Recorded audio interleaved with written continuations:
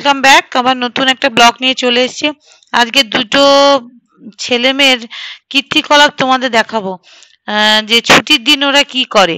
তো এখন স্কুলে যায়, আবার কয়েকদিন যেতে যেতে ছুটি পড়ে গেছে। তো দুটো ছেলে মেয়ে আমার জমজ তো, তোমরা সবাই জানো একটা ছেলে, একটা মেয়ে। তো কি করছে সেটাই দেখাবো।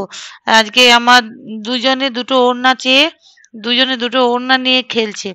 একজন তার গেঞ্জির ভিতরে ওই ওড়নাটাকে ঢুকিয়ে তার দাদু সেজেছে মানে দাদুর মতো সেজে আর একজন মাথায় পগড়ি বেঁধে সে তার মানে মস্তানি, মস্তান মস্তান খেলবে বলে ঠিক করেছে। তো দুজনের কথোপকথনে এটুকু বোঝা বলছে যে খেলতে। আমার মেয়ের সঙ্গে ও খেলবে না। যদি খেলতে হয় সে মারপিট মারপিট খেলবে। কিন্তু আমার মেয়ে একদম ওই মারপিট ও একটু শান্ত প্রকৃতির। ও একদম মারপিট পছন্দ করে না। তো আমার ছেলে ওই দেখো তাকে মারবে বলে মস্তান সাজছে। কিন্তু কিছু করার নেই রেগে মেগে আমার মেয়ে তো রেগে গেছে রেগে চুপ করে বসে আছে। তো তারপরে নিজেই আবার বলো না আমি খেলব। একা একা নিজেই খেলবে। তো নিজেই তার ওড়না নিয়ে চেয়ারে এই করে উম, বসেই আছে। তা আমার ছেলে কোনো হুঁশ নেই। সে তার নিজের মতো করেই খেলে যাচ্ছে। সারাদিন ওই একই গুন্ডামি, একই সব রকম করে যাচ্ছে। দেখো বন্ধুরা, তোমরা কীরকম খেলে? দেখো ওরা। মেয়ে রাগ করেছে। তাতে আমার ছোট ছেলের কোনো যায় আসে না। কি যেন ভেবেই আবার নেমে পড়ল নিজেই।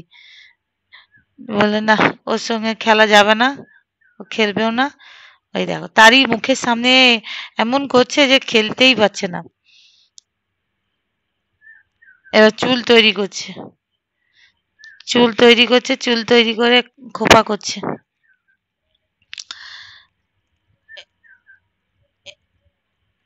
চুল তৈরি করে খোপা করছে, চুল আঁচড়াবে, বড় চুল।